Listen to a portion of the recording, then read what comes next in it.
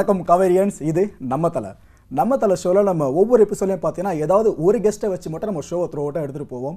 அது சில நேரம் ஆஃப் அன் ஹவராக இருக்கும் ஒரு மணி நேரமாக இருக்கும் சில ஷோ ஒன்றரை மணி நேரம் கூட கடந்து போகும். ஆனால் இந்த ஷோ முழுக்க முழுக்க வித்தியாசமானதுன்னு சொல்லலாங்க. ஏன்னா ஆடவர் யாரும் கிடையாது. முழுக்க முழுக்க பத்திற்கும் மேற்பட்ட ஒன்று ரெண்டு இல்லை பத்துக்கும் மேற்பட்ட பெண்களை வச்சு திருமணமான பெண்களை வச்சு தான் இந்த எபிசோட் நகரப்போகுது. ஸோ நம்ம தலை ஷோ இந்த ஷோவில் மட்டும் நம்ம தலைகள் மாறிடும்னு சொல்லலாம். ஏன்னா பத்துக்கும் மேற்பட்டவங்க பார்த்துங்க அப்போ எவ்வளோ கண்டென்ட் நம்மளுக்கு கிடைக்க போகுது அப்படின்றத. சரி எதுக்காக இந்த போல் ஒரு தீமை எடுத்திருக்கு அப்படின்னு பார்த்தீங்கன்னா திருமணத்துக்கு பிறகு அதாவது திருமணம் ஆயிடுச்சு அப்படின்னா அதுக்கப்புறம் பெண்களோட வாழ்க்கையே முற்றுப்புள்ளி வச்ச மாதிரி ஆகிடும் அவங்களால சாதிக்கலாம் முடியாது. அவங்க வாழ்க்கை அதோட அவ்வளோதாங்க பசங்க சாதிக்கலாம் பெண்கள் எதுவுமே பண்ண முடியாது சொல்லிட்டு சில மக்கள் கருத்தை மனசில் ஏந்திட்டு வாழ்ந்துட்டு இருக்காங்க. குறிப்பாக பெண்கள். ஸோ அந்த கருத்தை உடைக்கணுன்ற ஒரே நோக்கத்துக்காக தான் இந்த ஷோ ஸோ இதில் பெண்களோட தனிப்பட்ட வாழ்க்கையை பற்றியும் திருமணத்துக்கு பிறகு அவங்க என்னென்னலாம் பண்ணலாம் சாதிக்க துடிக்கிறவங்க என்னென்னலாம் பண்ணி மேலே வரலான்றதுக்கு ஒரு பன்னெண்டு பெண்களுங்க அடையாளமாக திகழ்கிறாங்க அவங்கள வர வச்சு தான் இந்த ஷோ முழுக்க முழுக்க இப்போ முன்னோக்கி போயிட்டு இருக்க போகுது. ஸோ அந்த வகையில் இன்னைக்கு வந்திருக்க மொதல் கெஸ்ட் யாருன்னு பார்த்தீங்கன்னா ரோஹிணி. வெல்கம் பண்ணிடலாம். வணக்கம் ரோஹிணி. வணக்கம். ரோஹிணி இந்த Mrs Chennai super woman two thousand nineteen அந்த கண்டஸ்டன் தான் சிறப்பாக செஞ்சு முடிச்சிட்டீங்க. அதுக்கு என்னோட வாழ்த்துக்கள் முதல்ல. உங்ககிட்ட கேட்க விரும்புகிற முதல் கேள்வி உங்களோட தனிப்பட்ட வாழ்க்கையை பற்றியும் இந்த மிஸ்ஸஸ் சென்னை இந்த ஈவெண்ட்டில் நீங்கள் பார்ட்டிசிபேட் பண்ணதுக்கான படிக்கட்டுகள் பற்றியும் சொல்ல முடியுமா? ஸோ என்னோட பேர் ரோஹினி ஸ்ரீவத்சன். நான் வந்து ஒரு தமிழ் கதாசிரியராக இருக்கேன். இதுதான் வந்து என்னோட ஃபர்ஸ்ட் ஸ்டெப் ஆஃப் சக்ஸஸ்ன்னே சொல்லலாம் அந்த மாதிரி. எல்லாரையும் மாதிரி என்னோடதும் வந்து ஐடி பேக்ரவுண்ட் தான் நானும். ஐடியில் ஒர்க் பண்ணிட்டு இருந்தேன். கல்யாணம் குழந்தை. குழந்தைக்கு அப்புறம் குழந்தைக்க பார்த்துக்கணுங்கிறதுக்காக வேலையை விட வேண்டிய நிலைமை. ஸோ அதுக்கப்புறமா வந்து தேடலுங்கிறது ஒன்று முடிவே இல்லைன்னு சொல்லுவோம் இல்லையா? அந்த மாதிரி தான். ஸோ நம்மளோட தனித்தன்மை காட்டணும் அப்படின்ற போது தான் நிறைய கதை படிக்கிற பழக்கம் இருந்தது. சரி நம்ம ஏன் எழுதக்கூடாது அப்படின்னு சொல்லி ஆரம்பித்த ஒரு விஷயம் தான் கதை எழுதுறது. அது வந்து இப்போ ஒரு நாலு வருஷமாக சக்ஸஸ்ஃபுல்லாக போயிட்டுருக்கு. அதில் வந்து அப்படியே அப்படி வந்து எனக்கு கிடைச்ச ஒரு காண்டாக்ட் தான் வந்து இந்த மிஸ்ஸஸ் சென்னையோட லக்ஷ்மி அவங்க டைரக்டர் ஸோ அவங்க வந்து இப்படி ஒரு ஈவெண்ட் இது it's a very surprise first இருந்தது. இந்த இயரில் இப்படி ஒரு வாய்ப்பு வரப்போகிறது அப்படின்னு. ஸோ ரொம்ப நல்லா இருந்தது. இந்த ஷோ பற்றி பர்டிகுலராக சொல்லணும்னா இப்போ அழகி போட்டி இல்லை ஃபேஷன் ஷோ அந்த மாதிரி இல்லாமல் உங்களோட திறமை அதையும் தாண்டி நீங்கள் அங்கே இருக்கிற இருபது பேரும் பார்த்தீங்கன்னா உங்களோட பக்கத்து வீட்டில் நீங்கள் பார்க்குற ஒரு தினசரி வாழ்கவேல இருக்கிற ஒரு பெண்களாக தான் இருக்கும். நாங்கள் இருபது பேருமே. எங்களுக்கும் எங்களோட ஃபேமிலிஸ் அந்த குழந்தை அப்படி தான் இருக்கே தவிர நாங்கள் யாருமே மீடியா ஃபீல்டு கிடையாது. எங்கள் தினசரி வாழ்க்கையை நாங்கள் போராட்டங்களோட கடந்துட்டுருக்கிற ஒரு விஷயம் தான் அந்த ஒரு விஷயம் தான் இதில் வந்து கலந்துக்கணும் அப்படிங்கிற பெரிய இன்ஸ்பிரேஷன் கொடுத்ததுன்னு சொல்லணும். ஏன்னா ஆல்ரெடி மாடலிங்கில் இருக்கிறவங்கள வச்சு நீங்கள் ஒரு ஷோவை சக்ஸஸ்ஃபுல்லாக பண்ணுறதை விட சாதாரண ஒரு பெண்ணை ஒரு வீட்டில் இருந்து அவங்கள வந்து ஒரு அவங்களோட எதிர்பார்ப்புகளை பூர்த்தி செய்கிற மாதிரி ஒரு விஷயம் பண்ணுறதுங்கிறது ரொம்பவே சவாலான விஷயம். அதை சக்ஸஸ்ஃபுல்லாக முடிச்சிருக்கோம் நம்புகிறோம் நாங்கள் இருபது பேரும். சூப்பர் ரோஹிணி உங்ககிட்ட கேட்க வேண்டிய ஒரு முக்கியமான கேள்வி தான் இது. நிறைய பெண்களே நினச்சிட்டு இருக்காங்க. திருமணம் ஆயிடுச்சு நம்ம வாழ்க்கை அவ்வளோதான் சாதிக்கலாம் முடியாது. கணவன் சாதிக்க விரும்புறதுக்கு நம்ம படிக்கட்டாக இருக்கலாம். குழந்தைங்க சாதிக்க விரும்புறதுக்கு படிக்கட்டாக இருக்கலாம். நமக்கு அவ்வளோதான் போல இருக்குன்னு நினச்சிட்டு ஒதுங்கிடுறாங்க. இது போல் ஒதுங்குறாங்களே திருமணத்துக்கு பிறகு சாதிக்க முடியாதுன்னு. அவங்களுக்கு நீங்கள் சொல்ல விரும்புறது என்ன கருத்து ரோஹிணி அதாவது வயசு எப்படி ஒரு விஷயத்துக்கு தடை இல்லைன்னு நம்ம சொல்கிறோமோ அதே தான் கல்யாணமும் சொல்லுவேன். ஏன்னா இப்போ என்னோட நாங்கள் இருபது பேர் இப்போ உங்களுக்கு பேட்டி கொடுக்க போகிற பன்னிரெண்டு பேருமே அதுக்கு ஒரு எடுத்துக்காட்டு தான். ஏன்னா எல்லாரும் வந்து அவ்வளோ ஒரு பிஸி லைஃபை அவங்களோட பர்சனலை தாண்டி தான் தன்னோட தனித்தன்மை. இப்போ ஆனால் நிறைய லேடிஸ் வந்து அந்த ஒரு விஷயத்தில் தெளிவாக இருக்காங்க. என்னதான் குடும்பம் குழந்தைன்னு இருந்தால் கூட தன்னோட தனக்கான தனி உரிமைங்கிறது வேணும் அப்படிங்கிறதுல நிறைய பேர் இருக்காங்க. சரி நீங்கள் சொல்கிற மாதிரி சிலர் இன்னமும் அந்த ஒரு அவேர்னஸ் இல்லாமல் மேபி இருக்கலாம். அது அவங்களுக்கு சொல்லணும்னா அப்படி மட்டும் இருக்கவே இருக்காதுங்க. இன்னாரோட மனைவி இன்னாரோட அம்மாங்கிற ஒரு அடையாளம் பத்தவே பத்தாது. யாருக்காக இருந்தாலும். நீங்கள் உங்களுக்கு உங்கள் பேரை சொன்னால் அவ அதையும் தாண்டிய ஒரு விஷயங்கிறத உங்களுக்கு முடி உங்களுக்கு ஆப்பர்ச்சுனிட்டி கிடைக்குதுன்னா அதை கிராப் பண்ணிக்கோங்க. வேற யாருக்காகவும் எதுக்காகவும் விடாதீங்க. உங்களோட இண்டிவிஜுவாலிட்டிங்கிறது வந்து ரொம்ப ரொம்ப முக்கியம். Okay super. அதே மாதிரி இந்த கணவன்மார்களுக்கும் மனைவிகளுக்கும் இடையில நல்ல புரிதல் இருந்தால் மட்டும்தான் ரெண்டு பேரோட சாதனை பயணமும் சரியாக போயிட்டு இருக்கும் எனக்கு தெரிஞ்ச அறிவுப்படி சொல்கிறேன் அப்படி பார்த்தீங்கன்னா இந்த நம்ம ஒய்ஃப் வந்து சாதிக்கணும்னு துடிக்கிறா அப்படின்னு சொல்லிட்டு அந்த கணவன் எந்த நொடியில் உணர்றான்? இது வந்து ஒரு ஒரு குடும்ப சூழ்நிலையை பொறுத்து மாறலாம். சிலருக்கு ஆறு மாதத்தில் தெரிஞ்சிடலாம் சிலருக்கு வருஷம் ஃபுல்லாக கூட தெரியாமல் இருக்கிறதுக்கும் வாய்ப்பு இருக்குது ஆனால் எந்த ஒரு இடத்துல வந்து இப்போது என்னோடதே எடுத்துக்கிட்டிங்கன்னா நான் ஆரம்பத்தில் எழுத வரேன் அப்படிங்கும்போது மொபைலில் தான் நான் எழுதுறேன். சிஸ்டம் என்னால் குழந்தைய வச்சுட்டு எடுக்க முடியாது. அப்போது வீட்டில் இருக்கிறவங்களுக்கு என்ன தோணுன்னா ஏன் எப்போ பார்த்தாலும் மொபைல் நோண்டிகிட்டே இருக்கேன் இது வந்து பெரும்பாலான பெண்கள் கதை எழுதுகிறவங்கன்னு இல்லை படிக்கிறவங்க கூட பண்ணுற ஒரு விஷயம். ஸோ அவங்களுக்கு நம்ம என்ன பண்ணுறோன்னு தெரியாத வரை நம்மளை கண்டிப்பாக டிகிரேட் பண்ணிகிட்டே தான் இருப்பாங்க. நிறைய சண்டை வரலாம் சச்சரம் அதையும் தாண்டி ஒரு விஷயத்த நீங்கள் ஹோல்ட் பண்ணும்போது அவங்களுக்கே ஒரு கட்டத்தில் புரியும். சரி நம்மளையும் மீறி அவளுக்கு வந்து இந்த விஷயத்து மேலே ஒரு பேஷன் இருக்குது அவள் வந்து பண்ணணும்னு நினைக்கிறா அப்படிங்கிறத புரிஞ்சுக்கிறதுக்கான வாய்ப்பு கண்டிப்பாக வரும். அது ஒரு ஒருத்தரோட குடும்ப சூழ்நிலையும் அவங்கவுங்க கணவரை பொறுத்து தான் சொல்ல முடியும். நம்ம வந்து இப்போ என் கணவர் வந்து புரிஞ்சுக்கிட்டார். ஆறு மாதத்துலேயே புரிஞ்சுக்கிட்டா அவள் வந்து எழுதணும்னு நினைக்கிறா. அவளோட ஒரு இண்டிவிஜுவாலிட்டி காட்டினா so he support me every அது வந்து தனிப்பட்ட ஒரு விஷயம் தான். ஆனால் நீங்கள் வந்து புரிய வைக்கிறதுக்கு முயற்சி பண்ணுங்கள் முயற்சியும் எடுக்காமல் இருக்கக்கூடாது. அவங்க புரிஞ்சுக்க மாட்றாங்க அப்படிங்கிறதுக்காக உங்களோட இதை வந்து நீங்கள் தடை பண்ணாதீங்க. ஓகே சூப்பர் ஸோ மனசில் பட்டதை என்ன போல் ஆண் வர்க்கத்துக்கு தெளிவாக எடுத்து சொல்லிட்டீங்க. நாளை பின்ன எங்களுக்கே கல்யாணம் ஆனாலும் நாங்களே எங்கள் ஒய்ஃபோட வய வளர்ச்சிக்காக பாடுபடும் நம்புகிறோம் ஸோ உங்களை போல சாதிக்க துடிக்கிற பெண்களை பார்க்கும்போது எங்களை போல ஆண்களுக்கே பொறாமை வரும். பா இவங்களா பண்ணுறாங்க நம்ம என்னடா என்ன எதுவும் பண்ணாமல் இருக்குன்னு சொல்லிட்டு ஸோ உங்களோட பயணம் விட்டு பெற வாழ்த்துக்கள் ரவி தேங்க்யூ தேங்க்யூ கிரண் நான் வந்து ப்ரொஃபஷ்னலி பேங்கர் இப்போ வந்து குழந்தைங்களுக்கு வ- இருக்கிறதுனால நான் வந்து ஜாபை விட்டுட்டு I am taking care of the baby so ஒரு ஜெயின் பொண்ணு நான் என் ஹஸ்பண்ட் வந்து ஹிந்து. நாங்கள் கல்யாணம் பண்ணியிருக்கோம். We are leading a very happy life so பேபியை பார்த்துக்கிறது வந்து ரொம்ப நல்லா இருக்குது ஆக்சுவலி இனிஷியலி நான் வந்து நினச்சேன் I could not stay back home எனக்கு ஏதாச்சும் பண்ணியே ஆகணும்னு இருந்தேன். பட் இதுவும் ஒரு லைஃப்பில் வந்து நல்லா இருக்குது இந்த பாட்டு. இந்த மிஸ்ஸஸ் சென்னை கான்டெஸ்ட் வந்து ஆக்சுவலி என் ஹஸ்பண்ட் வந்து எனக்கு ஒரு சர்ப்ரைஸாக என்னைய ரெஜிஸ்டர் பண்ணி வச்சுட்டாங்க. ஸோ ரொம்ப என்ஜாய் பண்ணேன். ஒரு டிஃப்ரெண்ட் எக்ஸ்பீரியன்ஸ் இருந்துச்சு. நான் இதுக்கு முன்னாடி ரெண்டு மூணு பேஜன்ஸில் போயிருக்கேன். இது ஒரு ரொம்ப நல்ல ஒரு ஆப்பர்ச்சுனிட்டி இருந்துச்சு. கல்யாணத்துக்கு அப்புறம் ஐ டோன்ட் திங்க் ஸோ இந்த மாதிரிலாம் இருக்கும் அப்படின்னு நான் நினச்சி கூட பார்க்கல. But this was really nice இந்த மாதிரி ஒரு இது இருந்ததுனால என்னோட இன்னர் கான்ஃபிடென்ஸ் வந்து திருப்பி ஒரு இது வந்திருக்கு. ஸோ ரொம்ப என்ஜாய் பண்ணேன். அண்ட் uh, நான் ஒரு நல்லா குக் பண்ணுவேன் நல்லா குக்கிங் பண்ணுவேன். அண்ட் ஹோஸ்ட் uh, கூட நான் ரொம்ப நல்லா பண்ணுவேன். இஃப் யூ வாண்ட் ஏதாச்சும் சொல்லுங்கள் உங்கள் ஷோ கூட நான் ஹோஸ்ட் பண்ணுவேன். எனக்கு ரொம்ப ஆசை வந்து எம்சிஏ ஆகணுங்கிறதுக்காக ரொம்ப ஆசை. ஈவெண்ட்க்கு வந்து என் ஹஸ்பண்ட் தான் என்னை ரெஜிஸ்டர் பண்ணாங்க. நான் சொன்ன மாதிரி நான் ஆக்சுவலி ஃபேஸ்புக்கில் இதை பற்றி பார்த்தேன். எனக்குள்ளே வந்து அது ஆசை இருந்துச்சு பட் நான் வந்து வேண்டாம் போ வேண்டாம் குழந்தைய வச்சுக்கிட்டு நான் எப்படி போவேன் அப்படின்னு சொல்லி நினச்சிட்டு நான் ட்ராப் பண்ணிட்டேன். எனக்கே தெரியாமல் என் ஹஸ்பண்ட் வந்துட்டு ரெஜிஸ்டர் பண்ணிவிட்டு எனக்கு ரொம்ப பெரிய சர்ப்ரைஸ் கொடுத்தாங்க. இந்த மாதிரி நான் ரெஜிஸ்டர் பண்ணிட்டேன். நீ போ நான் பார்த்துக்கிறேன்னு சொல்லிட்டு எனக்கு ரொம்ப சப்போர்ட்டிவாக இருந்தாங்க. என்னோட இன்லாஸும் ரொம்ப சப்போர்ட்டிவாக இருக்காங்க. ஸோ நல்லா இருந்துச்சு. இது ஒரு எக்ஸ்பீரியன்ஸ் நல்லா இருந்துச்சு.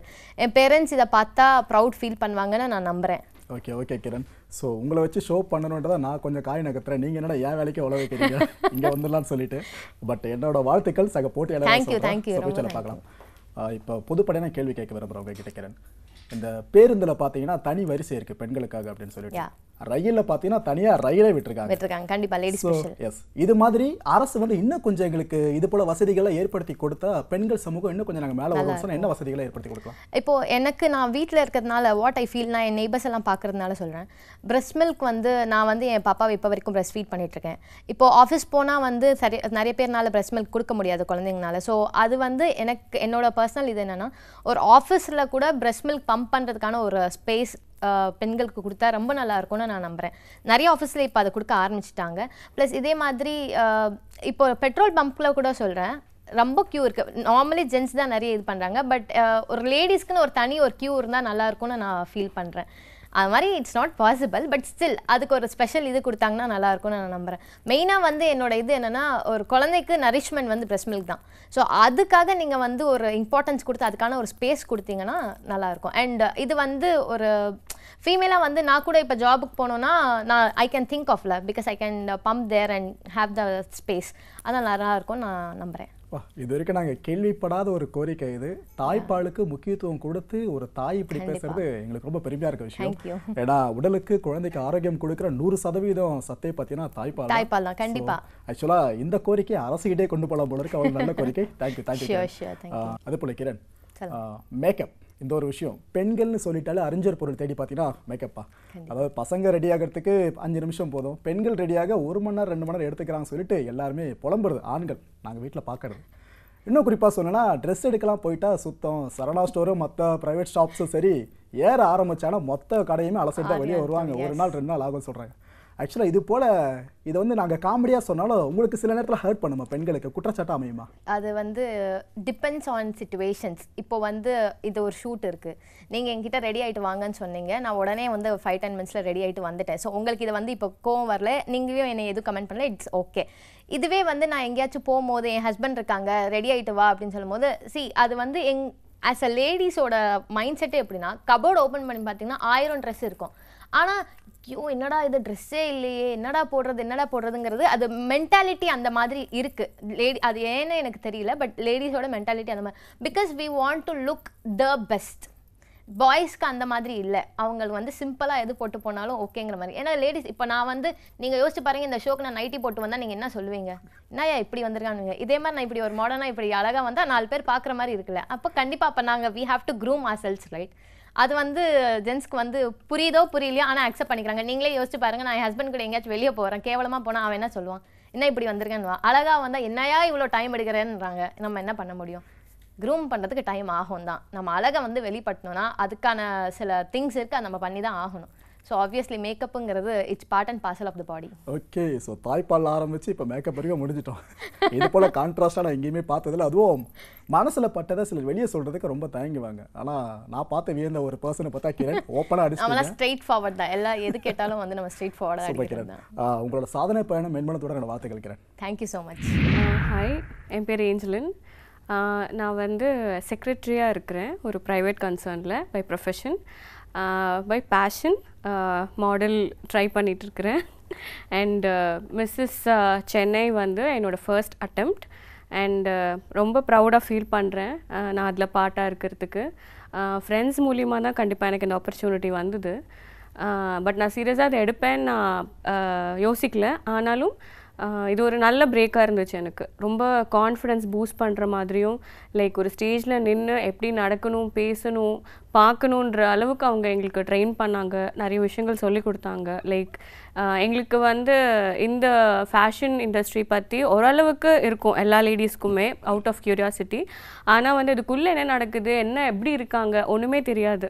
எங்களுக்கு ஆசைப்பட்டாலும் அதுக்குரிய பிளாட்ஃபார்ம் நிறைய பேருக்கு கிடைக்கிறது இல்லை. பட் நான் ரொம்ப லக்கியாக ஃபீல் பண்ணுறேன் இது என் ஃப்ரெண்ட்ஸ் மூலியமாக தான் இந்த ஆப்பர்ச்சுனிட்டி வந்தது. சரி இதில் என்ன தான் இருக்குன்னு பார்க்கலாமே. அந்த ஒரு மோட்டிவில் தான் உள்ளே போனது. பட் ரொம்ப பிடிச்சிது எனக்கு. அந்த ஷோஸு uh, அது வந்து சும்மா அழகுன்றது மட்டும் இல்லாமல் அவங்க திறமையை பார்க்குறாங்க. அது ரொம்ப புதுசாக இருக்குது மிச்ச கான்டெஸ்ட்டு இந்த அழகி போட்டிகள் எல்லாமே வந்து தோற்றத்தை மட்டுமே பார்ப்பாங்க. இங்கே வந்து தோற்றத்தையும் மீறி உங்களால் என்ன சாதிக்க முடியுன்ற ஒரு ரவுண்டும் இருந்தது. அதுதான் ஆக்சுவலி இந்த ஷோவோட வெற்றி. நிறைய பேருக்கும் தெரிஞ்சிருக்கும். ஸோ ரொம்ப பெருமையாக ஃபீல் பண்ணுறேன் இதில் பாட்டாக இருக்கிறதுக்கு. ஓகே ஓகே ஓகே ஆக்சுவலாக அந்த சினிமா அரசியல் வணிகம் விளையாட்டு. இப்படி எங்களுக்கு தெரிஞ்ச ஒரு நாலு துறைகளை தான் பெண்கள் அதிகமாக சாதிக்கிறதா நான் பர்சனலாக பார்த்துட்ருக்கேன். அதில் ஒரு கட்டம் மேலே போனீங்கன்னா அறிவியல் கல்பனா சாவ்லா அது போல் எல்லாமே. மறக்க முடியாத பெண்கள் அவங்க எல்லாம் சாதிச்சதில். ஸோ இந்த நாலு துறைகள்லையும் பெண்கள் அதிகமாக சாதிச்சிருக்கதை நாங்கள் பார்த்துட்ருக்கோம். உண்மையிலே எங்கள் பார்வை சரிதானா?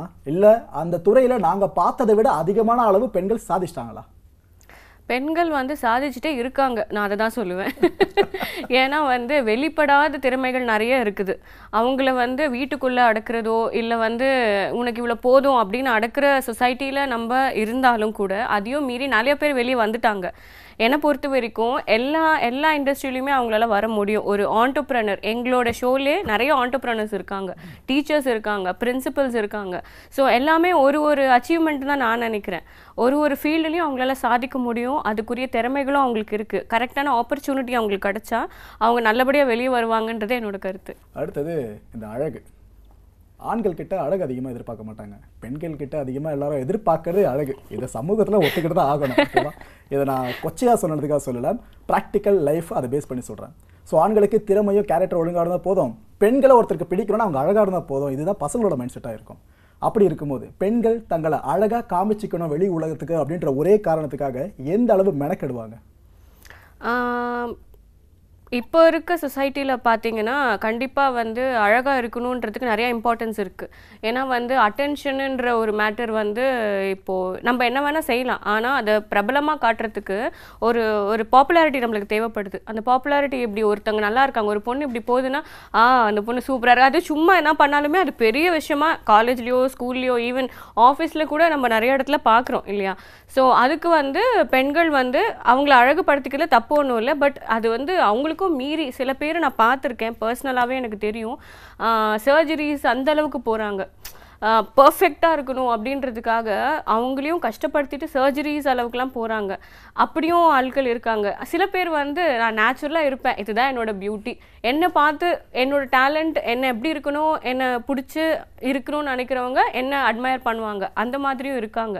ஸோ இது ரெண்டுமே எக்ஸ்ட்ரீம் நான் என்ன சொல்வேன்னா ஒரு ஒரு இண்டிவிஜுவலை பொறுத்து தான் இந்த அழகுன்றது வந்து ஈச் இண்டிவிஜுவலை பொறுத்து தான் அவங்க என்ன ஃபீல் பண்ணுறாங்க ஆஸ் அ பர்சனாக அவங்க இப்படி நான் இருந்தால் நல்லா இருக்கும்னு நினைக்கிறாங்கன்னா அவங்க அதுலேயே அழகாக இருக்கிறாங்க. இல்லை நான் இன்னும் என்ன பெட்டர் பண்ணிட்டேன் நான் நல்லா இருப்பேன்னு நினைக்கிறாங்கன்னா அதுலேயும் அவங்களால அழகாக இருக்க முடியும். ஸோ என்னோட ஒப்பீனியன் என்னென்னா இது இண்டிவிஜுவல்ஸ் சாய்ஸ் அவ்வளோதான் நான் சொல்லுவேன். ஓகே ஓகே ஸோ தனி மனித சுதந்திரம். போற்றப்பட வேண்டியது பெண்கள் விஷயத்தில். கண்டிப்பா. ஓகே ஓகே ஏஞ்சலின் ஸோ உங்களோட சாதனை பயணம் நெடு நீண்டகாலம் தொடரத்துக்கு என்னோட வாழ்த்துக்களை தேங்க்யூ ஸோ மச் தேங்க்யூ வணக்கம் கார்த்திக். என் பேர் திவ்யா. நான் பை ப்ரொஃபஷன் நான் வந்து ஐடியில் ஒர்க் பண்ணுறேன் as அ ப்ராஜெக்ட் மேனேஜர் இந்த சென்னை சூப்பர் உமனை பார்த்தீங்கன்னா பை வாட்ஸ்அப் குரூப் தான். ஸோ ஃப்ரெண்ட்ஸு நார்மல் ஜிம் குரூப்லேருந்து ஒரு ரெக்வெஸ்ட் வந்தது. ஸோ கொஞ்சம் யோசித்தேன் ஆடிஷனுக்கு அப்ளை பண்ணேன். ஐ காட் செலக்டட் அப்படியும் ஒரு ஒரு தயக்கம் இருக்கும் இல்லையா? நம்பலாமே போகலாமா அப்படின்ட்டு. ஸோ அந்த மாதிரி இருக்கும் போது வீட்டில் டிஸ்கஸ் பண்ணும்போது என் பொண்ணு ரொம்ப என்கரேஜ் பண்ண என்ன? ஷீஸ் டுவெல் இயர்ஸ் ஓல்ட் அவளை போங்க மம்மி பரவாயில்ல. ஜஸ்ட் கோ ஹெட் அப்படின்னா ஸோ அப்போ தான் ஒரு கான்ஃபிடென்ட் வந்தது. ஸோ எப்போ நம்ம பசங்க நம்மளுக்கு சப்போர்ட் பண்ணுறாங்கன்னும் போது it gives us more energy அப்புறம் ஹஸ்பண்ட் கிட்ட சொன்னேன் சரி okay if your interested you can proceed அப்படின்னாங்க. And then that's why I got into it and if you see that it's what's awesome இப்போ பார்த்தீங்கன்னா ஒரு நார்மல் இதை பற்றி என்னன்னே தெரியாத ஒரு எங்களை மாதிரி ஒரு சில மேபி நான் ப்ரொஃபஷனில் இருக்கும் போதே even I am in trend with latest fashion அப்படின்னாலுமே இதெல்லாம் ஒரு it was new to it but the learning curve was very good அந்த ஸ்கேல் அப் ரொம்ப ஜாஸ்தியாக இருந்தது. பார்த்தீங்கன்னா we get to know like how to speak how to answer the questions அந்த ramp walk how to carry ourselves dressing ஆக்சுவலாக இந்த தாய்மை ஆண்களால் முடியாத மிகப்பெரிய ஒரு விஷயம் பெண்களால் முடிஞ்ச விஷயம் நாங்கள் இது வரைக்கும் அசாத்தியமாக பார்த்துட்டு இருக்கிறது உங்களுக்கு சாத்தியமாக படுது. அந்த விஷயம் தாய்மை பிரசவம். ஸோ தாய்மை அடைஞ்சதுக்கு அப்புறமா அந்த பெண்ணோட வாழ்க்கை திருமணம் ஆகி முடிஞ்சதுக்கு அப்புறமா அவங்க எப்படி சாதிக்க முடியாதுன்ற மைண்ட் செட்டுக்கு வராங்களோ அதை விட டபுள் மடங்கான மைண்ட் செட் குழந்தை பிறந்ததுக்கு அப்புறமா வருதுன்ற என்னோட கூற்று. அது சரியான முறை கேட்டுக்கிறேன். ஆமாம் கண்டிப்பாக ஓகே ஓகே ஸோ இப்போ லீட் பண்ணுறதில் இது போல் தாய்மை அடைஞ்சதுக்கு அப்புறமா அவங்களோட மனநிலை பெண்களோட மனநிலை என்னவா இருக்கும்? ஒருவேளை நெகட்டிவான மனநிலைக்கு அவங்க போனாங்க அப்படின்னா எப்படி அவங்க அந்த நெகட்டிவான மனநிலையை பாசிட்டிவ் சைடு கொண்டு வரலாம்? ஓகே ரொம்ப நல்ல கொஷின் தேங்க்யூ கார்த்திக். இதில் என்ன அப்படின்னாக்கா கண்டிப்பாக அந்த ஒரு ஹார்மோனல் சேஞ்சஸ் அதெல்லாமே சொல்கிறோம் ஸோ அந்த டென் மந்த்ஸு ஸோ அதுக்கப்புறமா பார்த்தீங்கன்னா எங்களுக்கு தூக்கம் இல்லாமல் போயிடும். குழந்தைய பார்த்துக்கணும் அப்படின்ட்டு. ஸோ டெலிவரி ஆகும்போது அந்த ஆயிட்ட அப்புறமா அந்த குழந்தைய பார்த்தோன்னே அஸ் அ ஒரு தாய்மையாக அடைஞ்சிட்டதுக்கே நாங்கள் ஒரு கம்ப்ளீட்டாக ஒரு ஃபீல் பண்ணுறோம் அந்த சந்தோஷம் வந்து எதுக்குமே வந்து ஈடு இல்லை. அப்புறம் குழந்தைய பார்த்துக்குறோம் அப்படின்னும் போது டெஃபினட்டாக வி ஃபீல் லைக் யூனோ எங்களுக்கு ரொம்ப ரெஸ்பான்சிபிலிட்டி ஜாஸ்தியாக இருக்குது பிகாஸ் வி ஆர் நாங்கள் தான் வந்து அடுத்த லெவல் ஆஃப் ஒரு ஜென்ரேஷனை வளர்க்க போகிறோம் போது எங்களுக்கு நிறைய ரெஸ்பான்சிபிலிட்டி இருக்குது ஸோ அப்படின்னும் போது இனிஷியல் ஸ்டேஜஸ் வந்து குழந்தை கூடயே போயிடும். ஸோ அந்த ஸ்ட்ரெஸ் பூஸ்டர் வந்து ஜாஸ்தியாகவே இருக்கும். ஸோ எப்படி நீங்கள் அதுலேருந்து வெளியே வரலாம் அப்படின்னும் போது டெஃபினட்டாக it's up to the family who can encourage her அவங்க கூட இருந்து அவங்க கூட சில சில அவங்களுக்குன்னு ஒரு டைம் இருந்தாக்கா it it would be a better sense ஒரு லேடிஸ்க்குன்னு பார்த்தீங்கன்னா குழந்தை அதை பார்த்துக்கணும் அதுலேயே எவ்வளோ பேர் பார்த்தீங்கன்னா அவங்க- ஜாபெல்லாம் விட்டுட்டு குழந்தைய பார்த்துக்குறாங்க பட் எவ்வளோ பேர்னால அதையும் பேலன்ஸ் பண்ணிவிட்டு ஆஃபீஸும் பேலன்ஸ் பண்ணுறதுன்றது it's a different issue so எல்லாருக்குமே ஸ்ட்ரெஸ் இருக்குது பட் குழந்தைக்கு அப்புறமா அந்த பெண்களுக்குன்னு ஒரு தனித்துவமான ஒரு நேரம் தேவை. அவங்களுக்கு பிடிச்ச ஒரு பாட்டா இல்லை வரைகிறதா இல்லை குக்கிங்கா ஏதோ ஒரு ஹாபீஸ் அவங்களோட இன்ட்ரெஸ்ட் அவங்க வந்து செலுத்திக்கிட்டாங்கன்னா அது வந்து ரொம்ப யூஸ்ஃபுல்லாக இருக்கும் உங்களுக்கு. அந்த டைமில் தான் ஒரு அம்மா அம்மாவோட வந்து ஒரு எவ்வளோ பெரிய விஷயம் அப்படின்றதே அந்த லே கேர்ள்ஸ்க்கே அப்போ தான் அது வந்து உணர்த்தும். ஓகே ஓகே ஓகே ஸோ எங்களுக்கு தெரிஞ்சு ஹாஸ்பிட்டல் போகிறாங்க சிசேரியன் மேக்ஸிமம் பண்ணுறாங்க சுகப்பிரசவம் பார்க்க முடியல. கண்டிப்பா. அதுக்கப்புறம் பேபி பார்ன் அதுக்கப்புறம் லைஃப் ஸ்டைல் மாறுறது. இதுதான் எங்களுக்கு தெரியும். அதுக்கு பின்னாடி இவ்வளோ விஷயம் இருக்குன்னு சொன்னதுக்கப்புறம் எங்களுக்கே தெரியுது. சூப்பர் சூப்பர் அது- அதுதான் சொல்கிறேன் ஸோ இட் டேக்ஸ் எல்லாமே வந்து அந்த ஃபீல் பண்ணிட்டு நம்ம வந்து பண்ணாக்கா it would be a better thing super Divya. அடுத்தது இந்த குழந்தை பிறந்ததுக்கு அப்புறமா. நிறைய பேர் வந்து ஆஹா நான் வந்து எவ்வளோ நாள் ஏக்கம் என்னோட குழந்தை வேணும் என்னோட வம்சாவளி ஒன்று நான் பார்க்கணும்னு சொல்லிட்டு ரொம்ப நாள் ஏக்கம் அது நடந்துருச்சு. ஆனால் அந்த வேலைப்பழுன்னு சொல்லுவாங்கள்ல ஒர்க் ஃபுல்லாக அந்த இடத்துல ஹெவியாக போயிட்டு இருக்கிறது ஸோ இது போல காரணங்களால என்னோட வேலைப்பழு காரணமாக குழந்தைங்களை பிரிய நேரிடுது. எட்டு மணி நேரம் ஆஹா எப்போ போகணும்னு தெரிய மாட்டேது வீட்டுக்கு போய் எப்போ குழந்தைய பார்க்க போகிறேன்னு சொல்லி ஒரு ஆசை ஆண்களுக்கு அதிகமாக இருக்கும். அப்போ பெண்களுக்கு சொல்லவே வேண்டாம் அளவுக்கு அதிகமாகவே இருக்கும். அப்படி இருக்கும்போது டைம் மேனேஜ்மெண்ட் ஒரு விஷயம் இருக்குது பார்த்தீங்களா அதை எப்படி கையாளலாம் பெண்கள்? ஓகே ஸோ ஃபஸ்ட்டு இனிஷியலாக ஒரு மூணு வயசுக்கு நம்ம ஸ்கூலுக்கு அனுப்ப முடியாது குழந்தைங்கள. ஸ்கூ ஸ்கூலுக்கு அனுப்பிச்சிட்டோன்னா அது ஒரு டிஃப்ரெண்ட்டான ஃபீலிங் ஸோ லேடிஸ்க்குன்னு ஒரு சில டைம் கிடைக்கும். ஸோ மூணு வயசு வரைக்கும் லிட்ரலாக one month one year feed பண்ணுவோம். இப்போ ஆறு மாதம் உங்களுக்கு லீவே கொடுத்துட்றாங்க. குழந்தைய பார்த்துக்கோங்க அப்படின்ட்டுன்னு. ஸோ லிட்ரலாக ஒரு ஒன் டூ த்ரீ இயர்ஸ் டெஃபினட்டாக ஒன்றும் பண்ண முடியாது குழந்தைங்க வளர்கிற வரைக்கும்.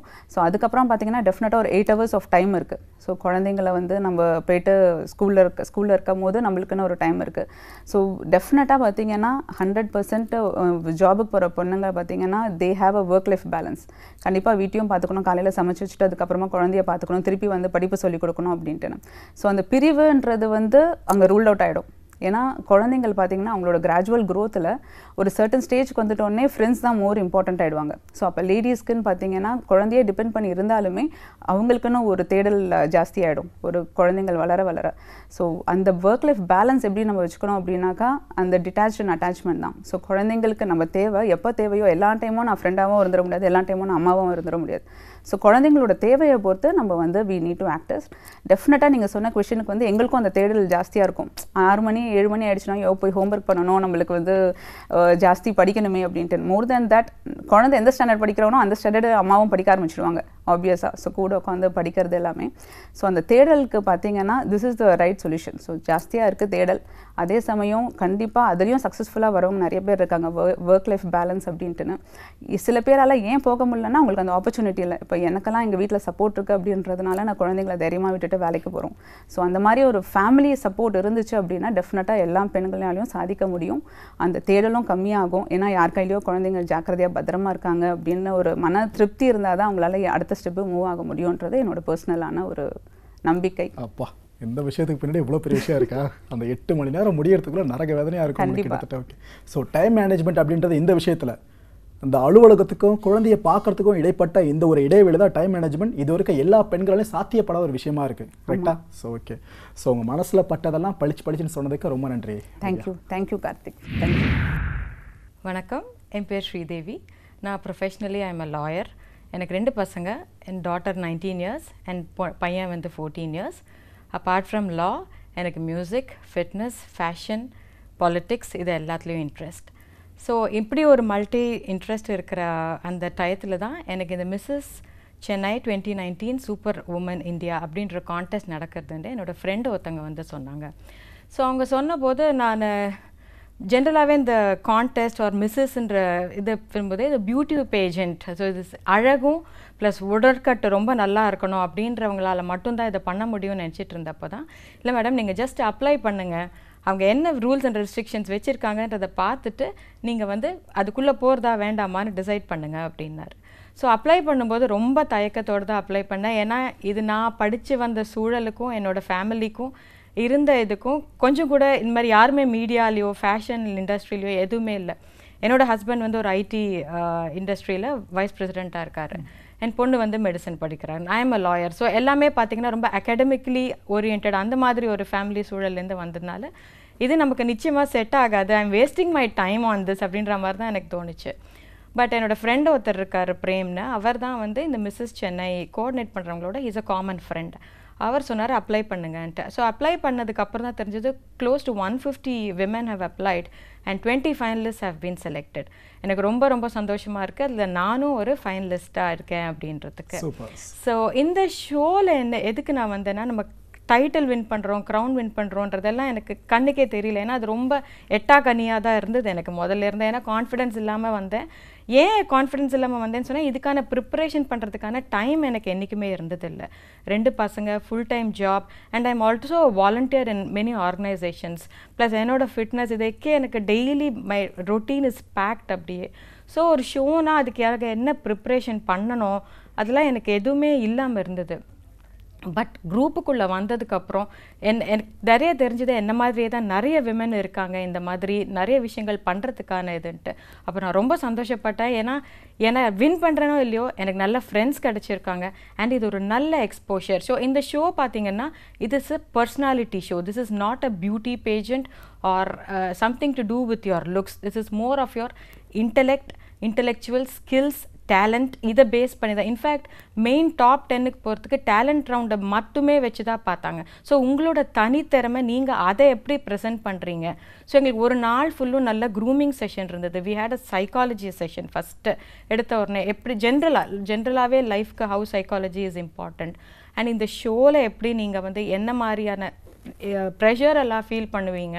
நிஜமாவே அந்த- டே வாஸ் ரியலி டென்ஸ்ட் நாங்கள் ரொம்ப என்னமோ ஈஸியாக எடுத்துட்டேன் பட் இருந்தாலும் ரொம்ப டென்ஸ்டாக தான் இருந்தது. ஏன்னா too many things in a day to do so அதெல்லாம் தாண்டி ஒவ்வொரு கட்டமும் தாண்டி நாங்கள் வந்து ஃபைனலாக வந்து அஞ்சு பேருக்கு கொஷின்ஸ் கேட்டு அதில் மூணு பேர் கரவுண்ட் பண்ணாங்க. எனக்கு ரொம்ப ரொம்ப சந்தோஷம். என்னோடய friend Mrs Bhagyam has won the winner we are very very happy about it இதில் நான் என்ன கற்றுக்கிட்டேன்னா how to look life in a very bigger aspect நம்ம ஆஃபீஸ் வீடு அப்படின்னு இருந்துடாமல் ரெண்டு குழந்தை ஆனாலும் இந்த மாதிரி நிறைய விஷயங்கள் வெளியில் வந்து கற்றுக்க முடியும். ப்ளஸ் எங்களுக்கு க்ரூமிங் செஷன்ஸ் கொடுத்தாங்க. ஃபிட்னஸ் செஷன் இருந்தது. ஸோ இது எல்லாமே வந்து நல்லபடியாக கற்றுக்கிட்டு இன்னைக்கு இந்த போயிட்டி கொடுக்குற வரைக்கும் it is really been wonderful okay okay so உங்களுக்கு டிசர்வ்டு தான் இது ஆக்சுவலாக இவ்வளோ கஷ்டப்பட்டதுனால தான் இந்த இடத்துக்கு நீங்கள் வந்து கண்டிப்பா, கண்டிப்பா. ஸ்ரீ அதே போல் ஒரு பொதுவான கேள்வி உங்கள்கிட்ட கேட்க விரும்புறது பிரசவத்துக்கு அப்புறமா பெண்களோட உடல் வாகு இருக்குல்ல அது வந்து மாற்றம் அடைஞ்சிடும் சொல்லியிருக்காங்க. நானும் கேள்விப்பட்டிருக்கேன். ஆக்சுவலாக உடல் வாகு மாற்றம் அடையும் பிரசவத்துக்கு அப்புறம். ஆமா. அப்படியா? ஓகே ஸோ இது போல் உடல் வாகு மாற்றம் அடைஞ்சிருச்சுன்னா அந்த குறிப்பிட்ட பெண்ணோட மனநிலை என்னவா இருக்கும்? அந்த ஒரு குறிப்பிட்ட நொடியில அவங்க ரொம்ப ஃபெட்டப் ஆவாங்களா? என்னடா இதோட நம்மளோட கரியரே முடிஞ்சிருச்சு. இப்போ ஒருவேளை சினிமாவில் நடிக்கிறவங்களா இருந்தாங்கன்னா அவங்களோட இன்வெஸ்ட்மெண்ட்டே பார்த்தீங்கன்னா அழகு தான். அதுவே இல்லாமல் இருக்குமே. எப்படி நம்ம இதுக்கப்புறம் சஸ்டைன் பண்ண போறோம் சொல்லி சின்ன ஒரு டவுட் கண்டிப்பா வந்தே தீரும். கண்டிப்பா. இது போல எல்லா துறையில இருக்க பெண்களுக்குமே வரும். ஸோ எப்படி அவங்க அதை ஓவர் டேக்கிள் பண்ணணும்? ரொம்ப ரொம்ப ரொம்ப நல்ல கேள்வி. இது சைக்காலஜிக்கலி இது வந்து நிறைய பெண்களுக்கு கண்டிப்பாக உடல் மாற்றம் அமையும். கண்டிப்பாக அது மறுக்க முடியாத ஒரு கோட்பாடு அது. பட் என்னன்னா அந்த குழந்தை பிறந்து கையில் கொடுக்குறாங்க பார்த்தீங்களா அந்த மொ- நன்- நிமிஷத்தை பார்க்கும்போது நீங்கள் பட்ட கஷ்டம் இதுக்கு மேலே என்ன வரப்போகுதுன்னு எதுவுமே உங்களுக்கு அந்த அந்த ஒரு செகண்டில் எதுவுமே தோணாது. ஸோ அந்த சந்தோஷத்துலேருந்தே நீங்கள் அடி எடுத்து வைக்க போகிறீங்க அந்த குழந்தைய வளர்க்குற ஒரு இதில். பட் இதில் நிறைய என்ன ஆகும்னா உங்களால் டயத்துக்கு சாப்பிட முடியாது. அந்த குழந்தைய பார்த்துக்கணும். ப்ளஸ் சைக்கலாஜிக்கலி அண்ட் ஃபிசியலாஜிக்கலி நிறைய imbalances hormonal imbalances mindset mood swings நிறைய நிறைய இருக்கும் விமென்க்கு ஸோ இதையெல்லாம் கொஞ்ச நாளைக்கு இருக்கும். கண்டிப்பாக அவங்க நிச்ச டிப்ரெஸ் ஆவாங்கன்னு நான் சொல்ல மாட்டேன். ஏன்னா அதோட ஒரு பெரிய கிஃப்ட் உங்கள் கையில் இருக்குது ஸோ நீங்கள் அதை பார்க்கணும். நிச்சயமாக உடம்பு சேஞ்ச் ஆகும். நான் இல்லைன்னே சொல்லலை. பட் அதுக்கு டைம் இருக்குது இப்போ அதை பற்றி கவலைப்படாதீங்க. ஒரு சிக்ஸ் மந்த்ஸ் ஒன் இயர் உங்கள் அட்டென்ஷன் எல்லாமே அந்த குழந்தை மேலே தான் இருக்கும். அது அதுதான் பண்ணணும். அதுதான் கரெக்ட் டோன்ட் வரி அபவுட் குழந்த பிறந்ததுன்னா உடம்பு சேஞ்ச் ஆகுது அழகு போகிறது ஃபீட் பண்ணுறதுனால எனக்கு வந்து எனர்ஜி போகிறதோ இல்லை அது அப் அந்த மாதிரி எதுவுமே நீங்கள் வந்து நினைக்காதீங்க. Breast milk is the best milk அது நீங்கள் கண்டினியூ பண்ணியே ஆனோம் எல்லாத்துக்குமே ஒரு டைம் இருக்குது இந்த டைமில் now you have to focus give yourself as a hundred percent அம்மாவாக நீங்கள் என்ன பண்ணணுமோ அதை பண்ணுங்கள் எல்லாமே things will fall in place okay so Telugu போற டைட்டில் கேட்ட மாதிரி இருக்கு. ஹண்ட்ரட் பர்சன்ட் அம்மானு கண்டிப்பா. Once a. Mother always a mother okay okay super shape சரி அதே மாதிரி இந்த ரீசெண்ட் டைம்ல அதிகமா பேசப்பட்டு இருக்க விஷயம் சிஎம் எடப்பாடி பழனிசாமி அவர்கள் சட்டப்பேரவை விளக்கம் அளிக்கக்கூடிய அளவுக்கு ஒரு விஷயம் பெருசா இருக்குன்னு பாத்தீங்கன்னா டிக்டாக் இந்த ஆப்பை பத்தி தான் இதுல அதிகமா பண்றது யாருன்னு பாத்தீங்கன்னா பெண்கள் பெண்கள். ஒத்துக்கிட்டே கண்டிப்பா. ஆக்சுவலா விவாகரத்துகளும் அதிகமா நடக்குது. இதனால சமுதாய சீர்கேடுகளும் நடக்குது. இன்னொரு பக்கம் பாத்தீங்கன்னா தற்கொலைகளும் நடந்துட்டு இருக்கு கரெக்ட் அதிகமாக பண்ணுறதே பெண்கள்னு சொல்லிட்டேன். ஆக்சுவலாக இந்த ஷோவோ பெண்களுக்கான ஷோ தான். இது போல் டிக்டாக் செயலியெல்லாம் பார்க்குறப்போ உங்களுக்கு நீங்கள் பண்ணியிருப்பீங்கன்னா தெரியல. ஒரு கியூரியாசிட்டியில் கேட்குறேன் இது போல் டிக்டாக் செயலியில் பெண்கள் அதிகமாக பண்ணுறத செயலியை யூஸ் பண்ணுறதை பார்க்கும்போது உங்களுக்கு மனநிலை என்னவா இருக்கும்? என்னடா இப்படி பண்ணுறாங்களே சொல்லி அப்படி இருக்குமா? ச்சே இந்த பொண்ணு இந்த வாட்டி இப்படி பண்ணிடுச்சு அடுத்த வாட்டி இதை பண்ணணும் சூப்பராக இருக்கும் சொல்லி என்கரேஜ் பண்ணுவீங்களா? டிக்டாக் நான் பண்ணதில்லை ஃபர்ஸ்ட் ஆஃப் ஆல் பட் என்னன்னா எனக்கு பண்ணுற இது மாதிரி பண்ணுற பெண்கள் மேலே ஒன்றும் தப்போ இல்லை கோவமோ குறையோ எதுவும் நான் கண்டுபிடிக்க விரும்பலை. இது வந்து அவங்களோட ஒரு டேலண்ட்டை வெளிப்படுத்துகிறாங்க பண்ணலாம். ஆனால் அதனோட அளவுகள் கோட்பாடுகள் அவளுக்கு அவங்களுக்கு தெரிஞ்சிருந்தா. இப்போ இது என்னங்க ஒரு சும்மா இது ஒரு மொபைல் ஆப் இதை நீங்கள் எடுத்து பார்த்து இதை இவ்வளோ சீரியஸாக யாரும் எடுத்துக்க வேண்டாம். இல்லை உங்களால் அதை ஹேண்டில் பண்ண முடியல டிப்ரெஸ் ஆறீங்கன்னு தெரிஞ்சுதுன்னா இல்லை I'm spending too much time in TikTok என்னோட சொந்த வேலைகளை விட்டுட்டு குழந்தைய கவனிக்கிறதோ இல்லை ஹஸ்பண்டை கவனிக்கிறதோ என்னோட சமூக பொறுப்போ இல்லை ஆஃபீஸ் வேலையோ எதையோ விட்டுட்டு நான் பண்ணுறேன்றது அதை நான் என்றைக்குமே ஒத்துக்க மாட்டேன். அதுக்கு வந்து நிச்சயமாக நான் அதை அந்த மாதிரி இதில் பார்க்கும்போது இதை தடை விதிக்கலாமோன்னு தான் தோன்றுறது. பட் அதற்காக தடை விதிக்க வேண்டாம். அவங்கவுங்க இது வந்து தனி மனித கட்டுப்பாடு வேணும் இதுக்கு இந்த தனி மனித கட்டுப்பாடு வந்துருச்சுன்னா எதுவுமே ஒன்றும் தப்பு கிடையாது. முதல்ல பார்த்தீங்கன்னா டிக்டாக்ல வந்துட்டு இருந்தது ஒரு செவன்ட்டி பர்சன்டேஜ் ஆஃப் ட்ரெஸ் அவங்க உடம்புல இருக்கும். அது அப்படியே சிக்ஸ்டி ஃபைவ் ஃபிஃப்டி ஃபுல்லா ஃபார்ட்டி ஃபைவ் போயிட்டு இப்போ தேர்ட்டியில் வந்து நிற்கிது அது ரொம்ப தவறு. எஸ் அதுக்கு தான் கேட்குறேன் எல்லாம் ஒரு ஹாபியாக மாற்ற ஆரம்பிச்சிட்டாங்க. அரை நிர்வாண காட்சிகளோட டிக்டாக் செய்கிற பெண்களோட எண்ணிக்கையும் அதிகரிச்சுட்டு தான் ஜாஸ்தியா இருக்கு ஸோ அதுக்கு இது வந்து அவங்க சீப்பா ஒரு ஒரு பப்ளிசிட்டியோ இல்லை ஒரு ஃபேமஸ் ஆகிறதுக்கோ ஆன ஒரு வழிதான் எனக்கு தோணுது. இப்படி பெண்கள் பண்ணக்கூடாது. பெண்கள் பண்ணினா சமுதாய சீர்கேடு தான் இன்னும் ஜாஸ்தி ஆகும் அப்போ இந்த விஷயத்துல டிக்டாக்ல அது போல டிக்டாக்கே நீங்களும் நான் வேண்டான்னு சொல்லல. நான் டிக்டாக்கே வேண்டான்னு சொல்லல பட் அதுக்குண்டான விதிமுறைகள் அளவுகோல்கள். இப்போது சினிமாக்குன்னா ஒரு சென்சார் இருக்குது அந்த காலத்தில் cinema was the only medium மக்களுக்கு வெளியில் கொண்டு வரதுக்கானது. இன்றைக்கி அப்படி இல்லை. ஒரு ஒரு ஸ்மார்ட் ஃபோன் இருந்ததுன்னா கையில் என்ன வேணாலும் நீங்கள் பண்ணலாம். உங்களுக்கு ஒரு யூடியூப் சேனல் வச்சுக்கலாம். நீங்களும் ஒரு Facebook page Insta page TikTok அப்புறம் என் எது வேணா பண்ணி பப்ளிசைஸ் பண்ணிடலாம். பட் இன்னைக்கு அந்த அளவுக்கு கம்யூனிகேஷனும் டெக்னாலஜியும் வளர்ந்துருக்கும் போது ஒவ்வொருத்தருக்கும் சமூக பொறுப்பு இருக்குன்றது தான் என்னோட ஒரு இது. இப்போ லாயரா இப்போ இந்த ஆடைன்ற படத்துக்கு வந்து ரெண்டு லாயர்ஸ் தான் எங்களோட கலீக் தான். போய் அவங்க வந்து ஸ்டே வாங்கியிருக்காங்க. இந்த மாதிரி போஸ்டர்ஸ் எல்லாம் போடக்கூடாதுன்ட்டு. ஸோ அந்த மாதிரி ஒரு பக்கம் பெண்கள் போராடிக்கிட்டு இருக்கும்போது இந்த மாதிரி வீட்டில் இருக்கிறவங்களே இந்த மாதிரி பண்ணுறது வந்து இட்ஸ் நாட் குட் இது இது நல்லதில்லை. ஸோ நான் டிக்டாக்கே நல்லதில்லைன்னு சொல்லலை. பட் அதுக்குண்டான வரைமுறைகள் அதுக்குள்ள கோட்பாடுகளுக்குள்ள அவங்க பண்ணினா நல்லது. இல்லைன்னா விதிகள் ஐ மீன் விளைவுகள் விபரீதமாக இருக்கும். அது அவங்க ஃபேமிலியே அஃபெக்ட் பண்ணும்போது தான் அது எவ்வளோ ஒரு கீழ்த்தனமான ஒரு விஷயம் நம்ம பண்ணிட்டு இருக்கோம் அப்படின்றது அப்போ தெரிய வரும். விளையாட்டு வினையாகுன்ற இந்த விஷயத்துல உண்மையா? கரெக்ட் ஓகே ஓகே கண்டிப்பா. ஸோ கேட்ட ரெண்டு கொஸ்டினுக்கும் ரொம்ப டீட்டெயில்டா பதில் சொன்னீங்க. லாயர் நீங்க அதுதான். ஒரு லாயர் எந்த அளவுக்கு அங்க உள்ள வாதாடுவாங்கன்ற இங்க உட்காந்து நான் சைலண்டா ஒரு லாயர் எப்படி பேசுவாங்கன்றத இல்ல பார்த்துட்டேன் எனக்கு சொல்ல வேண்டிய கருத்தை கரெக்டா சொன்னாதான் அது வந்து நம்ம செய்கிற எந்த ஒரு காரியத்தையுமே ஹண்ட்ரட் பர்சன்ட் இருக்க கொடுக்கணுன்றது வந்து என்னோட basic thumb rule of life okay so அது இல்லைன்னா டோன்ட் டூ இட் அந்த மாதிரியான ஒரு இது. ஒரு பக்கம் லாயராகவும் இன்னொரு பக்கம் பார்த்தீங்கன்னா இது போல் ஈவெண்ட்லேயே கலந்துக்கிறீங்க. இன்னொரு பக்கம் சமூக சிந்தனையும் அதிகமாக கொண்டுட்டு இருக்கீங்க. ஸோ உங்களோட சாதனை பயணம் மென்மேலும் தொடர வாழ்த்துக்கள் ஸ்ரீ. ரொம்ப நன்றி. தேங்க்யூ ஆப்பர்ச்சுனிட்டி வணக்கம் கார்த்திக். நான் தீபா வெங்கட்ரமணி. பிறந்து வளர்ந்தது எல்லாமே சென்னையில் தான். நான் வந்து இப்போது ரியல் எஸ்டேட் இண்டஸ்ட்ரி அதில் வந்து எயிட் இயர்ஸாக ஒர்க் பண்ணிகிட்ருக்கேன் ஒரு ப்ரைவேட் கன்சர்னில் எனக்கு ஒரு ஃபோர் இயர் குழந்தை பொண்ணு இருக்கா. அண்ட் இந்த சூப்பர் விமன் வந்து எதேச்சியாக நான் ஃபேஸ்புக்கில் ஸ்க்ரோல் பண்ணிட்டு இருக்கும்போது ஒரு போஸ்ட் பார்த்தேன். எனக்கு ரொம்ப நாளாக ரேம்ப் வாக் பண்ணணும் அண்டு ஸ்டேஜில் வந்து பெர்ஃபார்ம் பண்ணணும் ரொம்ப ஆசை பட் அதுக்கான மேடை கிடைக்கல நான் ரொம்ப கஷ்டப்பட்டிருக்கேன். பட் அந்த டைமில் கிடைக்கல. காலேஜ் படிக்கும் போதெலாம் நான் நிறையா ட்ரை பண்ணியிருக்கேன் பட் கிடைக்கல.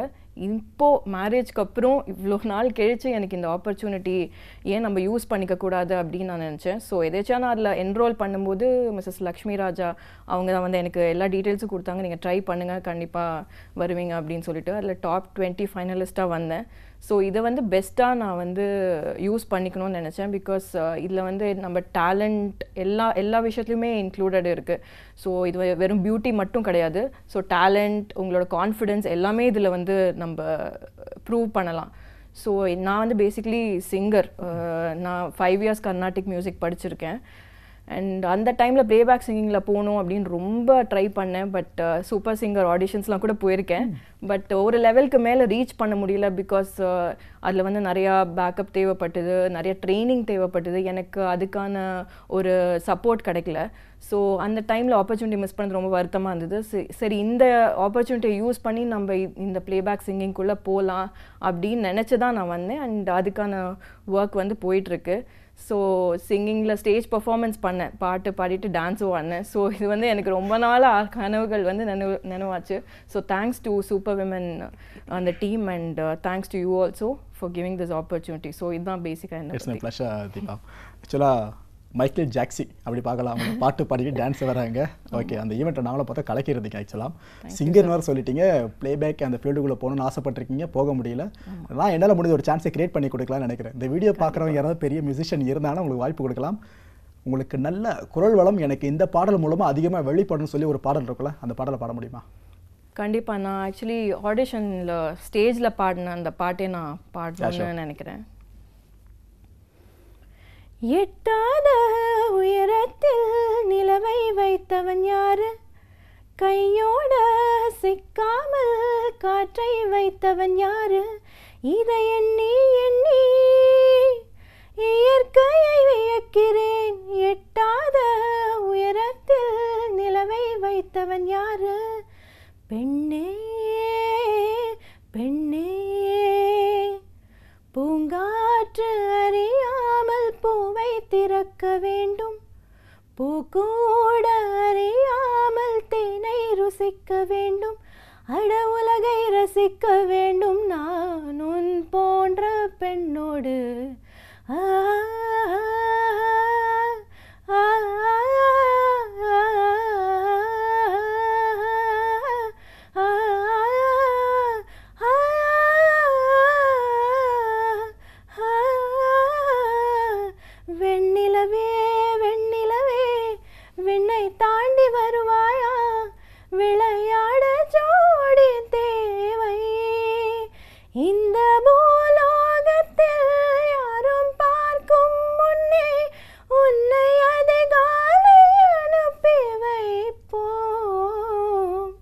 அப்பா எனக்கு கொஸ்டின் கேட்குறது மறந்துச்சுங்க. நான் ஒருவேளை மியூசிக் டைரக்டராக இருந்தேன்னா முதல் சான்ஸ் உங்களுக்கு தான். தேங்க்யூ தேங்க்யூ அது ஒரு பெரிய அப்ரிசியேஷன் எடுத்துக்கிறேன். வாய்ஸ் அவ்வளோ சூப்பராக இருக்கு. Thank you, எனக்கு தெரிஞ்ச இன்னும் ரெண்டு மூணு மாசத்துல மேபி உங்களுக்கு கிடைச்சாலும் கிடைக்கலாம். கண்டிப்பா. ஆஹ், நாங்க ஏதாவது ஆல்பம் பண்ணாலும் உங்களை கண்டிப்பா யூஸ் பண்றாங்க. வாய்ஸ் அவ்வளோ சூப்பரா இருக்கு. I very much of thank you so much sir thank you ஓகேங்க இப்போ புதிய கேள்விக்குள்ள வர பார்க்குறேன் இந்த பெண்கள் அப்படின்றவங்க உங்களோட இசைத்துறை அதில் வேற லெவலில் சாதிச்சுட்டு இருக்காங்க ஏன்னா இன்ஸ்ட்ருமெண்ட் வாசிக்கிறதுல முதற்கொண்டு சரி பாட்டு பாடுறது முதற்கொண்டு சரி ராக் அண்ட் ரோல் பெர்ஃபார்மன்ஸ் ஸ்டேஜில் நிகழ்த்துறதும் சரி எல்லா விதமான இசை கலைகள்லையும் தேர்ந்தவங்கள பெண்கள் இப்போ பார்க்கப்பட்டு இருக்காங்க எனக்கு தெரிஞ்ச இசைத்துறையில் ஆண்களோட அதிகமாக பெண்கள் டாமினேட் பண்ணிட்டாங்கன்னே சொல்லலாம். ஏன்னா அவ்வளோ இப்போ ஆக்கிரமிச்சிட்டிங்க இசைத்துறையவே. இதுக்கு கொஞ்சம் அப்படியே கான்ட்ராஸ்டாக வெளியே வந்தீங்க அப்படின்னா ஆட்டோ ஓட்டுநர்கள் டாக்ஸி ஓட்டுநர்கள் பேருந்து ஓட்டுநர்கள். இவங்க ஆக்சுவலாக ஆண்களை சொல்லல பெண்களே இருக்காங்க.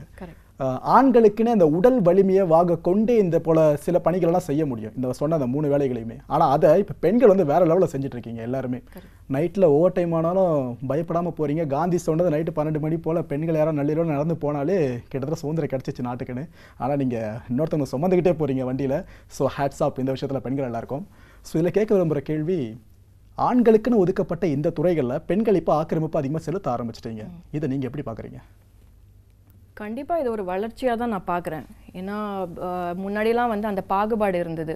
ஆண்கள் இந்த வேலை தான் செய்யணும் பெண்கள் வந்து இந்த வேலை தான் செய்யணும். பெண்கள்னா உடனே கிச்சனில் போய் சமைக்கணும் இல்லை வீட்டு வேலைகளை பார்க்கணும். காலையிலேருந்து நைட்டு வரைக்கும் அவங்க வந்து குடும்பத்தை பராமரிக்கணும். அஃப்கோர்ஸ் அதுவும் அது ஒன் ஆஃப் த வேலை தான் அது. பட் அதை மீறி அவங்களுக்குள்ளேயும் ஒரு சில பேஷன் இருக்கும். அவங்களுக்குள்ளேயும் அவங்களோட குடும்பத்தை வந்து கட்டி காக்கிற ஒரு சில ஒரு சில சிங்கிள் விமன் இருக்காங்க. ஸோ அவங்க வந்து அவங்கள நம்பி ஒரு பத்து பேர் இருப்பாங்க அவங்க வீட்டில் ஏழ்மை குடும்பத்தில் வந்தவங்களும் இருக்காங்க. ஸோ என்னை பொறுத்த வரைக்கும் வந்து இப்போது அவங்க ஈக்குவலாக வளர்ந்து வந்துட்டுருக்காங்க அதுக்கு மேலேயும் வளர வாய்ப்புகள் இருக்குது ஸோ ஸ்பேஸில் வந்து போகிறவங்க இருக்காங்க. நிறையா துறையில் வந்து அவங்க ஈக்குவலாக அவங்க எல்லாமே பண்ணிகிட்ருக்காங்க இருக்காங்க ஸோ இந்த டிரைவர்ஸ் நீங்கள் பொறுத்த நீங்கள் என்னை கேட்ட கேள்வி பொறுத்த வரைக்கும் அது வந்து கண்டிப்பாக ஒரு பெருமை பெருமையான விஷயம்தான். ஸோ ஒரு லேடி வந்து டுவெண்ட்டி ஃபோர் செவன் ஒரு கார் டிரைவ் பண்ணுறதா இருந்தாலும் சரி ஒரு பைக் டிரைவ் பண்ணி ஒரு ஃபார் எக்ஸாம்பிள் ஸ்விக்கியோ உபர் ஈட்ஸோ அந்த மாதிரி ஒரு சில ஆப்களில் வந்து ஃபுட் டெலிவரி பண்ணுறாங்க நானே நேரில் நிறையா பெண்கள் வந்து அப்படியே அசால்ட்டாக பைக் ஓட்டு போகிறாங்க நான் வந்து ஜஸ்ட் ஒரு பைக் நார்மலாக டிராஃபிக்கில் போட்டுக்கு நான் பயப்படுவேன். ஐயோ என்ன ஆகிடும் அவங்க அன்றைக்கி நான் பார்த்தேன். நிஜமாவே நான் என் கண்ணால் பார்த்தேன். அப்படியே சைடில் கட் அடித்து அப்படி போகிறாங்க ரொம்ப எனக்கு அது பார்க்கும்போது ஆக்சுவலி நான் ரொம்ப பெருமையாக நினச்சேன். ஏன்னா அவ்வளோ தைரியம் ஒரு ஆம்பளை நான் ஃபஸ்ட்டு அவங்க லேடின்னு எனக்கு தெரியாது. தென் அவங்க ஹேர் பின்னாடி விட்டுட்டு அவங்க கையில் வளையெல்லாம் போட்டு பார்த்து தான் ஹெல்மெட் போட்டிருந்தாங்க. ஸோ எனக்கு ரொம்ப பெருமையாக இருந்தது. இந்த மாதிரி எல்லாருமே தைரியமாக வந்து சமூகத்தில் வரணும். ஈக்குவலாக எல்லா வேலையும் செய்யணும். கண்டிப்பாக இது வந்து உடலை வாக பொறுத்தோ இல்லை அவங்களோட ஸ்ட்ரென்த்து பொறுத்தோ கிடையாது. அவங்களோட மன வலிமை தான். அவங்களுக்கு மென்டல் ஃபிசிக்கலாக இருக்கிறத விட மென்டலாக அவங்க வந்து ஸ்ட்ராங்காக இருந்தாங்கன்னா எந்த வேலையும் செய்ய முடியும். ஸோ ஐ திங்க் இந்த விஷயத்தில் எனக்கு ரொம்ப பெருமையாக இருக்குது எல்லாருமே இந்த மாதிரி ஈக்குவலாக எல்லா வேலையுமே எடுத்து பண்ணணும் அப்படின்றது என்னோட கருத்து. Super super Deepa. அடுத்து நீங்கள் சம்மந்தப்பட்ட சினிமா துறை இந்த சைடே வரேன். முதல்லலாம் வந்து ஒரு ஹீரோ இருப்பார் அவருக்குன்னு ஒரு மார்க்கெட்டிங் இருக்கும். இப்போ வரைக்கும் போயிட்டு இருக்கு பட் இப்போ டாமினேஷன் கொஞ்சம் கம்மியாக இருக்கு. எப்படி சொல்கிறேன்னா இப்போ அஜித் சார் ஒரு படத்தில் நடிக்கிறாருன்னா அவரை வச்சு தான் அந்த படத்துக்கான முழு வியாபாரமாக நடக்கும். விஜய் சார் நடித்தாலும் அதே தான் ரஜினிகாந்த் அவர்கள் நடித்தாலும் அதே தான் கமல் நடித்தாலும் அதே தான் இப்போ அந்த ட்ரெண்ட் கொஞ்சம் கொஞ்சமாக மாறி ஹீரோஸ் யாருமே இல்லை ஹீரோயின் தான் மொத்த லீடுமே ஸ்டோரிக்குன்னு சொல்லிட்டு இந்த அறம் போன்ற படங்கள்ல நயன்தாரா அவர்களும் சரி ஜோதிகா அவர்களும் சரி இது போல பெண் கதாபாத்திரத்துக்கு முழுக்க முழுக்க முக்கியத்துவம் கொடுத்து அந்த ஹீரோக்கான லாபியே இப்போ உடஞ்சிட்டு வருது. ஆக்சுவலாக இது ஆரோக்கியமாக பார்க்கலாமா? இல்லை சரி நாங்கள் எல்லா இடத்துலையும் ஆக்கிரமிச்சிட்டோம். சினிமா தானே எதிரே நாங்கள் பண்ண சொல்லி அது ஒரு மெதப்பில் நீங்கள் வரதான் பார்க்கலாமா? கண்டிப்பாக இதையும் வந்து நான் பாசிட்டிவாக தான் எடுத்துப்பேன். ஏன்னா ஃபஸ்ட்டு வந்து ஒரு ஹீரோயினோ ஒரு விமன் கேரக்டரோ வந்து ஒரு என்டர்டெயின்மெண்ட் ஒரு விஷயமாகவே வச்சுட்டு இருந்தாங்க இனிஷியல்லேருந்து ஸோ அது வந்து ஓகே ஒரு என்டர்டெயின் ஒரு ஹீரோயின் வந்து அந்த ஹீரோயின் அவ்வளோ அழகாக இருக்காங்க. ஸ்க்ரீனில் பார்க்கறதுக்கு அவ்வளோ அழகாக இருக்குது டான்ஸ் ஆடுறாங்க. ஸோ அந்த ஒரு டான்ஸிங் அந்த பாட்டு வரும்போது மட்டும் அந்த ஹீரோயினை பார்க்கும்போது எல்லாருக்கும் ஹாப்பியாக இருக்கும். அது அதுவும் one part of film filming industry தான். இன்னொரு பார்ட் பார்த்தீங்கன்னா வந்து ஒரு விமன் ஓரியன்ட் இப்போ ஒரு படம் பார்த்துட்டு நீ வெளில வரும்போது அந்த ஹீரோயினுக்கு அவ்வளோவா கேரக்டரே இல்லைப்பா அப்படின்னு தான் நம்ம நானே நிறையா சொல்லியிருக்கேன். பெருசாக சும்மா வந்துட்டு போகிறாங்க ஸ்க்ரீனில் அப்படின்னு இல்லாமல் நயன்தாரா படம் நீங்கள் சொன்ன மாதிரி அறம் படம் அண்ட் அருவி. அருவி வந்து உண்மையாக சொல்லணும்னா என்னோட லைஃப்பில் அந்த படம் பார்த்துட்டு நான் நிறையா என்னோட மைண்ட் செட்டை நான் மாற்றிருக்கேன் ஏன்னா ஒரு இண்டிவிஜுவல் ஒரு பொண்ணாக ஒரு எய்ட்ஸ் அஃபெக்டட் பொண்ணாக இருந்துக்கிட்டு அவங்க வெளியில் அந்த சமுதாயத்தை எப்படி பாசிட்டிவாக அவங்க ஃபேஸ் பண்ணுறாங்க மற்றவங்களை எப்படி அந்த சொசைட்டி அவங்கள எப்படி பாதுகாக்குது அவங்கள எப்படி அரவணைக்கணும் அப்படின்றத ரொம்ப அழகாக காமிச்சிருப்பாங்க. ஸோ என்னை பொறுத்த வரைக்கும் இந்த மாதிரி விமன் ஓரியன்ட் சப்ஜெக்ட்ஸ் கண்டிப்பாக வந்து மக்களும் அதை ஆதரிச்சிருக்காங்க. ஏன்னா படம் ஹிட் ஆகிருக்கு ஸோ கண்டிப்பாக இது வந்து ஈக்குவலாக இருக்கணும். ஹீரோயிசம் பேஸ்ட் சப்ஜெக்ட்ஸும் இருக்கணும். அண்ட் இதுவும் இருக்கணும் பிகாஸ் என்ன மாதிரி இன்னும் நிறையா பெண்கள் வந்து இதை பார்க்கும்போது நயன்தாரா ஓகே இவங்க இவ்வளோ போல்டாக நடிச்சிருக்காங்க. ஆப்வியஸ்லி uh, படிக்காதவங்களும் சரி படிச்சவங்களும் சரி அவங்க வந்து அதை பாசிட்டிவாக எடுத்துப்பாங்க. நம்ம தைரியமாக இருக்கலாம். அவங்கள ஒரு ரோல் மாடலில் நம்ம நயன்தாரா மாதிரி ஃபைட் பண்ணலாம் அப்படின்னா கூட நான் கூட நினச்சிருக்கேன். நம்ம தைரியமாக நடக்கணும் கெத்தாக நடக்கணும் சொசைட்டியில் அப்படி இருக்கணும். நிறையா பேர் நம்மளை புள்ளி பண்ணும்போது இல்லை நம்மளை கிண்டல் பண்ணும்போது நம்ம தைரியமாக தட்டி கேட்கணும். ஆப்வியஸ் நிறையா பேருக்கு அது ஒரு எக்ஸாம்பிளாக இருக்கும். ஸோ ஐ திங்க் இது வந்து ஒரு பாசிட்டிவான விஷயம் தான் நிறைய டேரக்டர்ஸ் கண்டிப்பாக இந்த மாதிரி நிறைய படங்கள் எடுத்தாங்கன்னா it be very nice okay okay okay Deepa. So உங்களோட ரோல் மாடல் கிட்டத்தட்ட சொன்னீங்களே நயன்தாரா இவங்களோட படத்திலேயே நீங்கள் ஒரு பாடல் பாடி பிரபல பின்னணி பாடகி அப்படின்ற ஒரு வார்த்தைகள் உங்கள் பேருக்கு முன்னாடி ரெண்டு வார்த்தைகள் வந்து thank you thank you so much Karthik thank you hi நான் பாக்யம் மிஸ்ஸஸ் பாக்யம் அண்ட் நான் தான் இந்த பேஜண்ட் வின்னர் எனக்கே நம்ப முடியலை தான் நான் ஜெயிச்சிட்டேன். ஆனால் நான் தான் வின்னர் ஆயிட்டேன். நான் இந்த பேஜண்ட் பற்றி ஃபேஸ்புக்கில் தான் பார்த்தேன். சரி நம்ம போகலாமா வேண்டாமா யோசிச்சுட்டு இருந்தேன். அண்ட் நான் அதுக்கு make the phone call moment சொல்வேன். நான் ஃபோன் எடுத்துட்டு லக்ஷ்மி ராஜாவை ஃபோன் பண்ணேன். இப்படி எனக்கு போலியோ இருக்குது ஓகேவா ரேம்ப் வாக் எல்லாம் ஜட்ஜ் பண்ணுவேடா நான். அதுக்கு இட் வாஸ் வெரி ஸ்வீட் அவள் எனக்கு சொன்னால் நீங்கள் வாங்கோ. நீங்கள் வரதே ஒரு பெரிய விஷயம். அதில் நீங்கள் ரேம்ப் பற்றி நாங்கள் எது பற்றியும் ஜட்ஜ் பண்ண மாட்டோம். உங்கள் பர்சனாலிட்டி மட்டும் நாங்கள் பார்க்க போகிறோம் அது நீங்கள் ஸ்ட்ராங்காக இருக்கே எனக்கு ஃபோன்லேயே தெரிஞ்சுது. நீங்கள் வாங்கோ அவ்வளோதான் ஸோ அதுதான் எனக்கு ரொம்ப பெரிய சேஞ்ச் மொமெண்ட்டாக இருந்தது. ஏன்னா நான் ஃபஸ்ட்டு இது க்ரௌன் மட்டுமா நினச்சேன். ஆனால் it is actually a message நிறைய பேர் என் மாதிரி இருக்கா? And I am not shy to say physically challenge நாங்கள் எல்லாருமே இருக்கோம். ஆனால் யாருக்கும் அந்த தைரியம் வரதில்லை ஒரு ஃபோன் பிக்கப் பண்ணி பேசுறதுக்கு. நிறைய ஆப்பர்ச்சுனிட்டிஸ் இருக்குது இந்த வேர்ல்டில் செக்ரிகேட் பண்ண மாட்டா. ஆனால் நம்ம தான் அந்த ஃபோன் பிக்கப் பண்ணி பேசணும் சொல்லணும் எங்களுக்கு பார்ட்டிசிபேட் பண்ணணும். அதில் தப்பே இல்லை. வேண்டா சொன்னால் இன்னொன்று ஃபோன் கால் பண்ணணும். Life is about second chances is what I say அப்பா. கிட்டத்தட்ட ஆட்டோ பின்னாடி எழுதி வைக்கக்கூடிய ஒரு வாசகம் தான் இது. ஏன்னா திருமணமான பெண்கள் திருமணத்துக்கு பிறகு பெண்கள் சாதிக்க நினைக்கிறது ஃபிஃப்டி ஃபிஃப்டி பர்சன்ட் தான் சான்ஸ் இருக்கும். அதுலேயும் மாற்றுத்திறனாளி பெண்கள் சாதிக்க நினைக்கிறது எனக்கு தெரிஞ்சு இம்பாசிபிளான ஒரு விஷயமா தான் பார்த்துட்டு இருந்தேன். பட் அந்த ஒரு கர்வத்தை உடைச்சிட்டீங்க நீங்கள் வின் பண்ணி. என்னோட வாழ்த்துக்கள் முதல்ல அதுக்கு. தேங்க்யூ தேங்க்யூ பெண்களுக்கு ரொம்ப ரொம்ப பிடிச்ச சினிமா நட்சத்திரம் யார்? எதுக்காக அவர் அந்த குறிப்பிட்ட ஒருத்தரை பெண்களுக்கு அதிகமாக பிடிக்குது? அவர் ஆடவராகவும் இருக்கலாம் பெண்ணாகவும் இருக்கலாம். நான் பேசிக்கலி பிறந்து வாழ்ந்தது பாம்பே. அப்போ எனக்கு சினிமா தான் பாலிவுட் தான் இருந்தது. சென்னைக்கு வந்தான அப்புறம் நான் நிறைய ஆக்டர்ஸை மூவிஸ் பார்க்க தொடங்கினேன். இங்கே ஒன்றே ஒன்று மெயின் திங் நான் என்ன நோட்டீஸ் பண்ணேன்னா தட் இங்கே ஆக்டர்ஸை லவ் பண்ணதோட ஜாஸ்தி அவரோட ஹம்பிள்னஸை ரொம்ப லவ் பண்ணுறா சென்னை தமிழ்நாடு இங்கே பீப்புள் ஆர் ஸோ அவளுக்கு ரஜினிகாந்த் சொன்னால் ரஜினிகாந்த் ஸ்க்ரீனில் என்ன பண்ணுறா தவிர அவரோட பர்சனாலிட்டி எவ்வளோ ஹம்பிளாக இருக்குது அது ரொம்ப ஜாஸ்தி டச் பண்ணது அண்ட் அதுதான் ரொம்ப ஜாஸ்தி அவளுக்கு பிடிக்கிறது. ஸோ ஒரு தனிப்பட்ட ஆக்டர் ஒரு ஆக்ட்ரஸ் பேர் நான் சொல்ல மாட்டேன். ஏன்னா நான் இப்போ அஜித் சொன்னால் எனக்கு எல்லாரும் என்ன சொல்லியிருக்காங்க அவர் வீட்டுக்கு போனால் உங்களுக்கு சாப்பாடு கண்டிப்பாக கிடைக்கும்.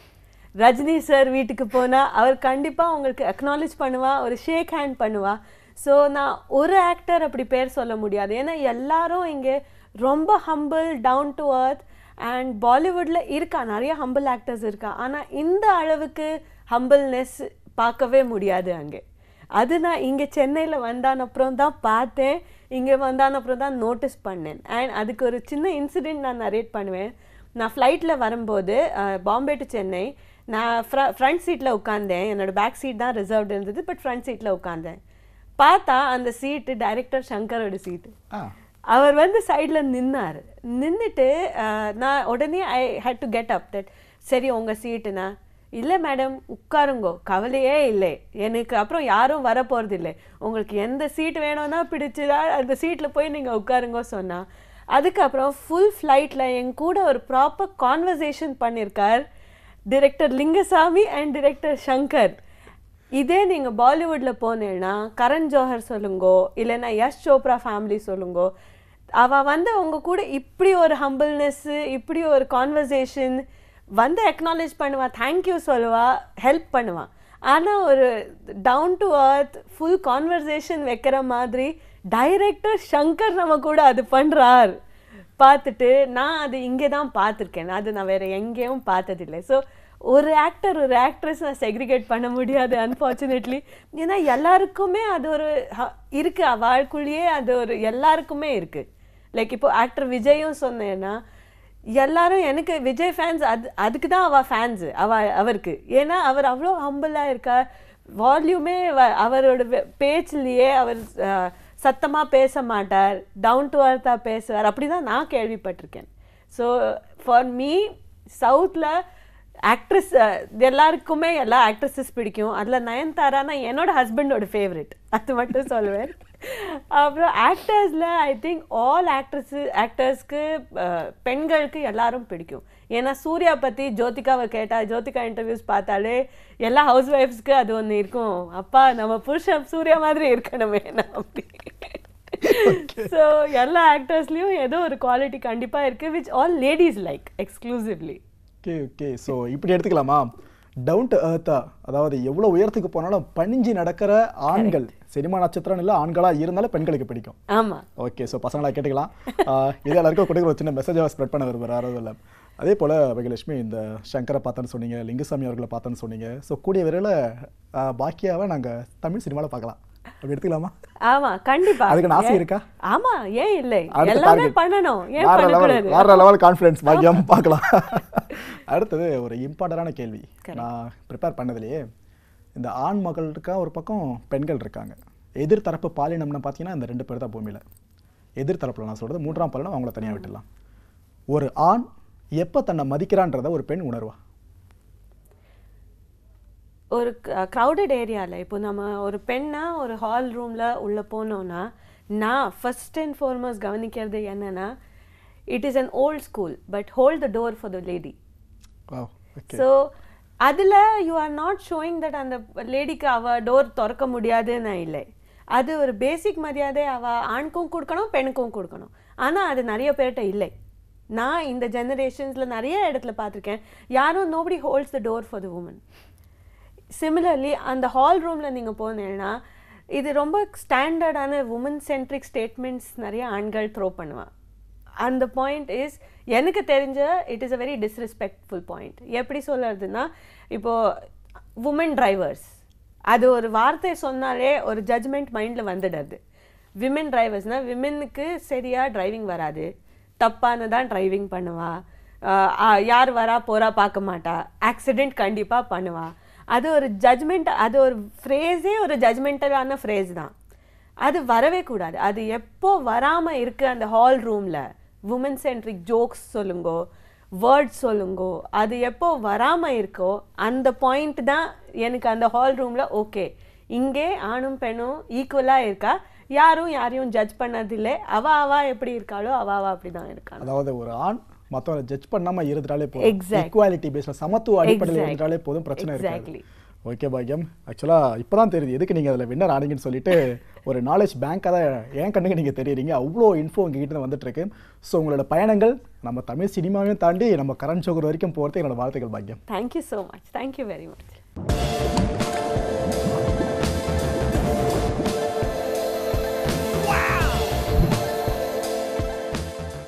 உண்மை செய்திகளை உங்கள் கண்முன் கொண்டு வரும் காவிரி நியூஸின் யூடியூப் சேனலை சப்ஸ்கிரைப் செய்யுங்கள்.